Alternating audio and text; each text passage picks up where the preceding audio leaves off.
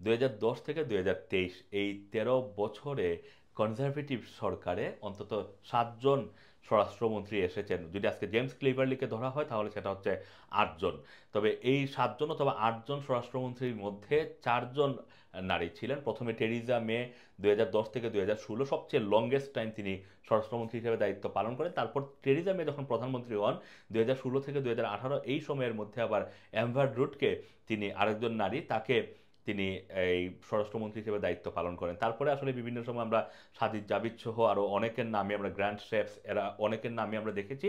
তবে যখন যখন লিস্ট, এই বরিস জনসনের শেষের দিকে এসে এখানে প্রীতি প্যাটেলকে তাকে এই হোম সেক্রেটারি হিসেবে দায়িত্ব দেওয়া হয় এবং তিনি দুই বছর হোম সেক্রেটারি হিসেবে দায়িত্ব পালন করেন এবং লিস্ট্রাস যখন যখন লিস্ট বরিস জনসনের পদত্যাগের দাবিতে যখন অনেক মন্ত্রী পদত্যাগ করেন, তখন কিন্তু এই প্রীতি প্যাটেল তিনিও পদত্যাগ করেন এবং তারপরেই সেখানে এই যে সোয়েলা ব্রাভারম্যান তিনি স্বরাষ্ট্রমন্ত্রী হিসেবে দায়িত্ব পালন করেন এবং লিস্টাসের মন্ত্রিসভায় কিন্তু সোয়েলা ব্রাভারম্যান স্বরাষ্ট্রমন্ত্রী হিসেবে দায়িত্ব পালন করেন। উনিশ অক্টোবর তিনি ঠিক গত বছর, ঠিক আজকে থেকে তেরো মাস আগে, উনিশ অক্টোবর দুই হাজার বাইশ সালে সুয়েলা ব্রাভারম্যান দায়িত্ব থেকে সরে যেতে বাধ্য হন এবং তার চার দিন পরে যখন লিস্ট্রাস মানে প্রধানমন্ত্রীর দায়িত্ব থেকে সরে যান, তখন আবারও ঋষি সোনাক প্রধানমন্ত্রী হন এবং সেখানে সুয়েলা ব্রাভারম্যানকে তিনি এই স্বরাষ্ট্রমন্ত্রীর দায়িত্বে নিয়ে আসেন। তবে এই চারজন নারীর মধ্যে তিনজন নারী কিন্তু আসলে এই সবচেয়ে বেশিও মানে ব্রিটিশ ইতিহাসের স্বরাষ্ট্রমন্ত্রী হিসেবে তাদের নাম জলজল করছে বিভিন্ন কারণে। যেমন যখন টেরিজা মে যখন দায়িত্ব গ্রহণ করেন আপনাদের নিশ্চয়ই মনে আছে দু হাজার দশ সালে তিনি যখন দায়িত্ব পালন করেন, তখন প্রথমে তিনি কিন্তু ইমিগ্রেশন অনেকটা লুজ করে দিয়েছিলেন এবং প্রচুর স্টুডেন্ট তখন এসে ঢুকেছে ব্রিটেনে। ঠিক দুই বছর পরে তিনি এমন একটি সিদ্ধান্ত নেন, এক রাতের মধ্যে সত্তর হাজার স্টুডেন্টকে অবৈধ ঘোষণা করা হয় এবং এখন পর্যন্ত যারা এই দু হাজার তেইশ সালে এসে অনেকেই যারা ইমিগ্রেশন সাফার করছেন, তারা কিন্তু সেই টেরিজা মেয়ের সিদ্ধান্তের কারণেই সাফার করছেন। টয়েক থেকে শুরু করে অনেকগুলো ইস্যু কিন্তু এখনও এই ইমিগ্রেশন অনেকেই কিন্তু এই ইস্যুগুলো নিয়ে সাফার করছেন। সুতরাং টেরিজা মেয়ের তখন কিন্তু এটা সবচেয়ে বড় সিদ্ধান্ত ছিল এবং তিনি বলছিলেন যে তিনি একটি হস্টাইল পরিবেশ তৈরি করবেন ইমিগ্রেশন বা অবৈধ যারা রয়েছে ব্রিটেনে। মানে একেবারে বন্দি একটি অবস্থা তৈরি করবেন দম বন্ধ অবস্থা তৈরি করবেন এবং সেই দম বন্ধ অবস্থা থেকে তারা যাতে ব্রিটেন ছেড়ে চলে যায়, এই ধরনের একটি পলিসি তিনি গ্রহণ করেছিলেন।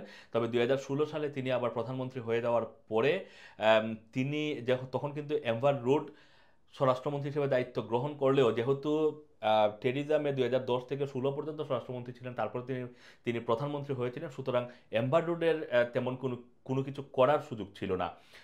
তারপরে যখন প্রীতি পেটেল এসে দায়িত্ব গ্রহণ করেন, প্রীতি পেটেলও কিন্তু অনেকগুলো বিতর্কিত মন্তব্য করেন, অনেকগুলো বিতর্কিত কাজ করেন। তার সবচেয়ে বিতর্কিত কাজের মধ্যে একটি হচ্ছে রুয়ান্ডা স্কিম, যেটা আসলে সুয়েলা ব্রাবারম্যান তিনি যেটা নিয়ে কাজ করছিলেন, সেটা কিন্তু আসলে প্রীতি প্যাটেলের একটি পলিসি ছিল। প্রীতি প্যাটেল এসে ইমিগ্রেশনকে অনেক কঠোর করা যায়, কীভাবে সেই সিদ্ধান্তগুলো নিচ্ছিলেন এবং প্রীতি প্যাটেলও কিন্তু এক পর্যায়ে দায়িত্ব থেকে সরে যেতে দায়িত্ব থেকে নিচ থেকেই সরে যান। প্রধানমন্ত্রী বরিস জনসনের উপরে অনাস্থা দেখিয়ে তারপর সুয়েলা ব্রাভারম্যান এসেছেন। সুয়েলা ব্রাভারম্যান কিন্তু দুই দফায় স্বরাষ্ট্রমন্ত্রী ছিলেন এবং দুই দফায় কিন্তু তিনি নানান ধরনের বিতর্কিত কাজ করে গিয়েছেন। সেই বিতর্কিত কাজের মধ্যে সর্বশেষ যেটা ছিল যে, ফিলিস্তিনের পক্ষে ব্রিটেনের যারা সমাবেশ করছেন, তাদেরকে কীভাবে আক্রমণ করা যায়, তাদেরকে কতটুকু হেনস্থা করা যায় মুখের কথা দিয়ে সেটাই তিনি করছিলেন। সর্বশেষ তিনি সেটা লিখে করতে গিয়েই কিন্তু ধরা খেয়েছেন এবং এবং এবং ভিতরের খবর হচ্ছে যে তার আসলে অনেক উচ্চবিলাসী স্বপ্ন রয়েছে ব্রিটিশ প্রধানমন্ত্রী হওয়ার এবং এবং ঋষি সোনাকে ভবিষ্যতে চ্যালেঞ্জ করার মতো একটা সিচুয়েশনে চলে যাচ্ছিল। সেই কারণে ঋষি সোনাকও আসলে অনেকটা ডিসকমফোর্ট একটা সিচুয়েশনে ছিলেন এই সুয়েলা ব্রাবারম্যানের ইস্যুতে এবং সর্বশেষ নানান বিভিন্ন পক্ষ থেকে যখন জোরালো দাবি উঠছিল যে সুয়েলার ব্রাবারম্যানের পদত্যাগের জন্য বা তাকে চেক করার জন্য শেষ পর্যন্ত ঋষি সুনাক আজকে সকালে এই সিদ্ধান্তটি নিতে বাধ্য হয়েছেন এবং সেখানে জেমস ক্লেভারলিকে তিনি স্থলাভিষিক্ত করেছেন এবং ব্রিটিশ রাজনীতিতে নিঃসন্দেহে আজকের দিনটি বেশ গরম একটি দিন এবং বলাই যায় যে ব্রিটিশ রাজনীতির উপর দিয়ে আজকে প্রতি ঘন্টায় একশো মাইল বেগে বাতাস বইয়ে যাচ্ছে। Assam Masum Rana TV London